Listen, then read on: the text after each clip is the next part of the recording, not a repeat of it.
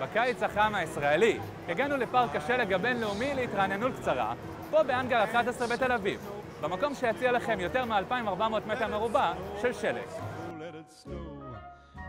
תגיד לי, מאיפה הגיע הרעיון, אמצע החום של אוגוסט, להביא שלג לילדי ישראל? שיגעון של שני חברים, אחד זיכרונו לברכה ושלי, הקמנו את זה מאפס, ואנחנו מקווים שכל אחד ייהנה. בונים ערים של שלג כל יום, זה עובד 24-7, זה לוקח המון המון מים והמון המון קירור.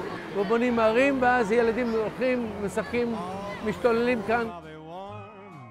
כמה זה בלתי נתפס שיש מכונות שלג באמצע תל אביב ב-30 מעלות באוגוסט?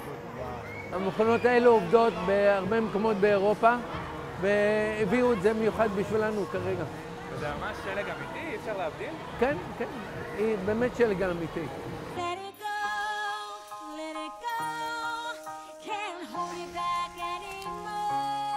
חלקה על הקרח, לקח לנו חמישה ימים לבנות את זה, לקרר את המים עד שזה נהיה קפוא, וממשיכים כל לילה, מוסיפים להמשיך עם זה.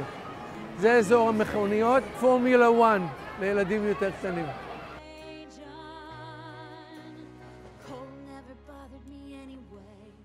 להעסיק את הילדים, שעתיים של כיף, בטמפרטורה נורמלית, נעים נחמד לכולם, כיף. בדיוק מזג האוויר של קריית אתא באוגוסט. לא בדיוק, אבל באנו להתרענן קצת, חם בחוץ, אז באנו ליהנות מהמזגן. מרגיש כמו החורף. למה, בגלל מזג האוויר או מה עוד? בגלל מזג האוויר, השלג, ולהרגיש את התחושה של להיות. בעולם אחר עם שלג וקרח. וכאן יש לנו את המגלשת ורטיגו, זה לילדים יותר קטנים.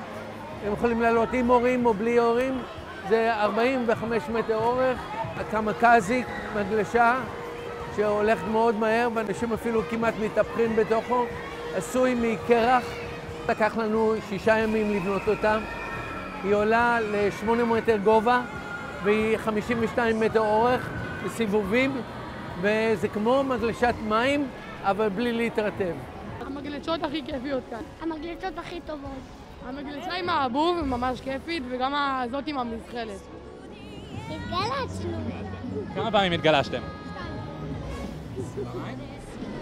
תהיה פעם שלישית? עכשיו יהיה פעם שלישית